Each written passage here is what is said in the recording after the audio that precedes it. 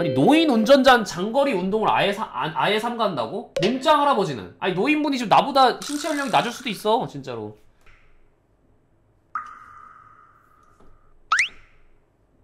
빵댕이 아니야? 빵댕이 조심하다고? 연속 과속 방지턱! 어? 야 이거 아니었어?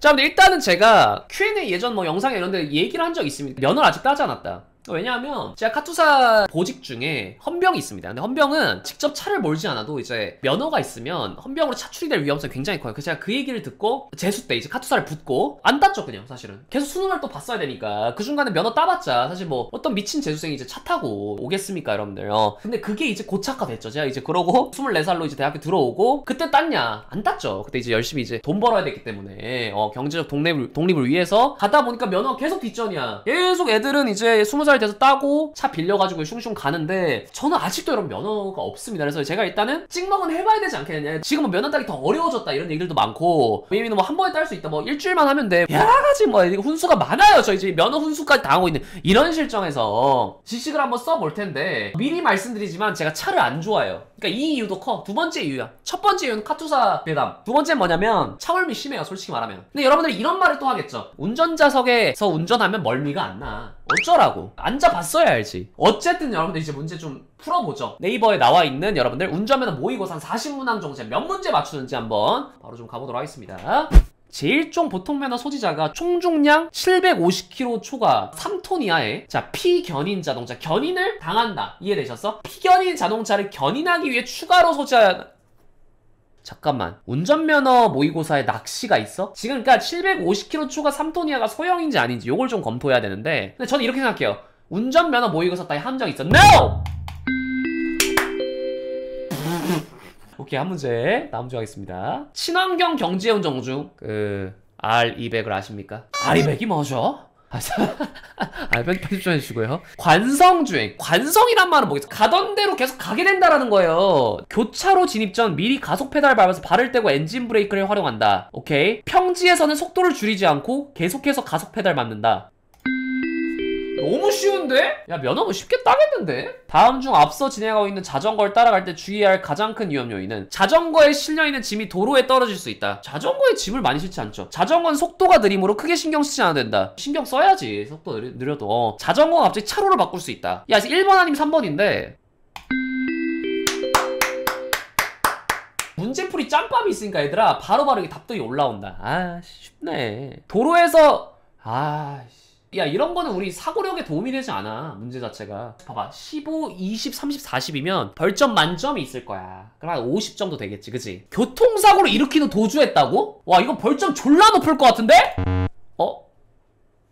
오답률이 이거는 문제 잘못 낸 거야 정답률이 36%밖에 안 되는 건 배제해야 돼 이거 어 이런 문제를 내면 안 되죠 예? 이건 전환길쌤이 욕해도 할 말 없어. 진짜 이건 말이 안돼. 도로교통법상 적성검사 기준을 갖추었는지를 판정하는 건강검진 결과 통보에서는 운전면허 시험 신청일로부터 몇 년 이내에 발급된 서류여야 한다. 네모하는 기준은 안 맞는. 건강검진은 1년마다 아니야? 아 발급 아 맞다. 2년이나 아 맞다. 그래 진단서 이런 거 거의 2년이자 효력. 토익 같은 거. 한국사 능력 시험. 야간 주행 중 앞, 앞차에 제동 등이 점등되지 않을 때 올바른 운전 방법이 아닌 것은 이런 거 쉽죠? 안전거리 유지하고. 앞차에 점등되지 않아. 알려주고. 앞차를 앞지르게 하고 야 근데 거저 주는 문제가 있다. 오케이 오케이. 이런 걸 다 맞추면 되지 않나? 도로교통 법령상 비사업용 승용차 운전자가 전조등, 차폭등, 미등, 번호 등을 모두 켜하는 경우로 맞는 것은? 등이 저렇게 많았어? 자동차에? 주차 위반은 나 견인되고 있습니다. 빠밤빰. 견인되고 있습니다.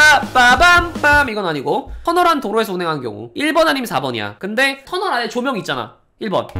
아씨! 야 터널 안에 괜찮지 않냐 요즘? 잘 돼 있잖아. 귀신 나와? 오케이 도로교통법상 도로교통법령을 외우는 거네. 뭐야 사법고시인데? 법령을 외우는데 그냥? 차로에 따른 통행차의 기준에 대한 설명이다. 잘못된 것은. 느린 속도로 진행할 때는 통행하던 차로의 오른쪽 차로로 통행할 수 있다. 편도 2차로 고속도로 1차로는 앞지르게 하는 모든 자동차 통행할 수 있다. 일방 통행 도로에서는 도로의 오른쪽부터 1차로로 한다. 자 이거는 보기 합성이야. 봐봐. 3번이 맞으면 1번 2번이 다 맞잖아. 어? 그럼 3번이 틀린 거야. 아! 아 이게 잘 찍을 수 있었는데. 현재까지 세 문제. 가변형 속도 제한 구간에 대한 설명. 가변형 속도에 대한 제한이 변형돼? 상황이 그렇죠. 능동적인 속도. 야 이거는 한자를 잘해야 돼. 변형이 가능해. 규정 속도 숫자를 바꿔서 펼쳐 그게 바꾸고 가변형 속도 제한 표시로 최고 속도를 정해. 이에 따라야 된다. 아니 바꿀 수 있잖아. 어? 야 국토교통부 머리 좋은데? 가변형 속도 제한 표준으로 정한 최고속도 안전표 최고속도 다를 때는 안전표 최고속도를 따라야 된다? 운전 3년 차인데 어렵다고요? 아씨 뭐야 이거. 뭐. 가장 바람직한 노인 운전자. 장거리 이동할 때 안전을 서행 운전한다. 서행 운전하십시오. 오케이. 내비게이션에서 들은 것 같아. 시간 절약을 위해 목적지까지 쉬자. 아유 이건 아니지. 도로 상황을 주차하면서 규정. 통행 차량이 적은 야간에 주로 운전 이거 당연히 3번이지.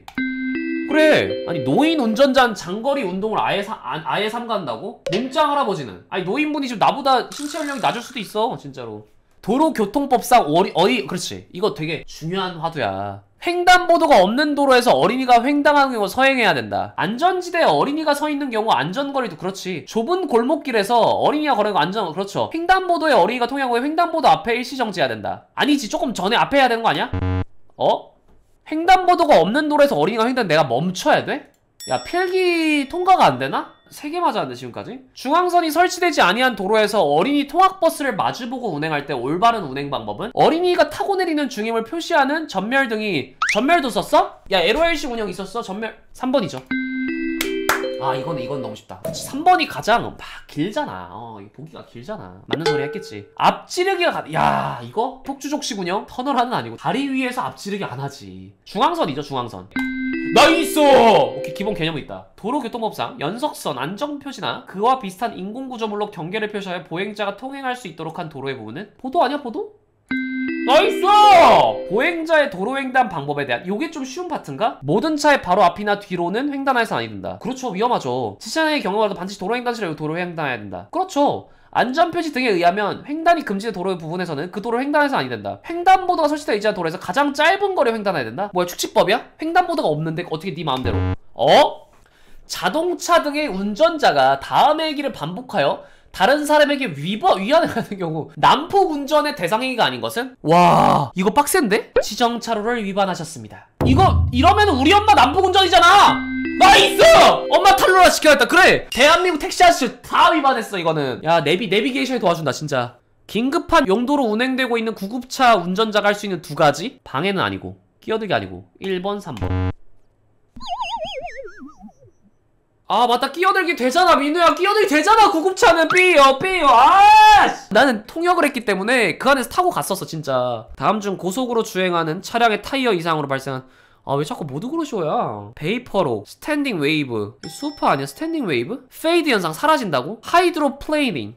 오케이. 그냥 못 들어본 거 그냥 면허도 오수하자 형. 공부해야겠다. 보행자의 통행에 대한 설명 중 맞는 것은 보행자는 예외적으로 차도를 통행하는 경우 차도의 좌측으로 통행해야 된다. 아 그렇지 차도의 좌측 맞는 것 같은데? 우리 여자친구랑 길 걸을 때도 차도 쪽으로 서주자. 내가 오른쪽에 서줄게. 그럼 차도의 좌측이 되겠죠. 차도 입장에선 내가 좌측이지. 하, 좋다. 아니 행진 때 왜 중앙이 돼? 이거 뭐야? 개 어려운데? 자갈길 운전할 저 갯벌 안 가요. 운전대는 최대한 느슨하게 팔 아니죠. 운전대를 느슨하게 잡는 거 아니죠. 바퀴가 최대한 높여져 접... 아니죠. 속도 높여서.